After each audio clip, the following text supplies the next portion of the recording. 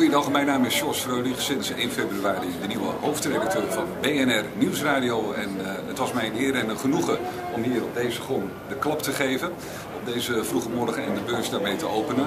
Uh, niet alleen omdat het leuk is om dat een keer te doen, want je ziet het altijd op tv. Maar ook omdat eh, uh, BNR en de beurs natuurlijk nauw vervlochten zijn. Als enige radiostation van Nederland brengen wij meerdere keren per uur het beursnieuws. Dus wij voelen ons hier heel erg thuis.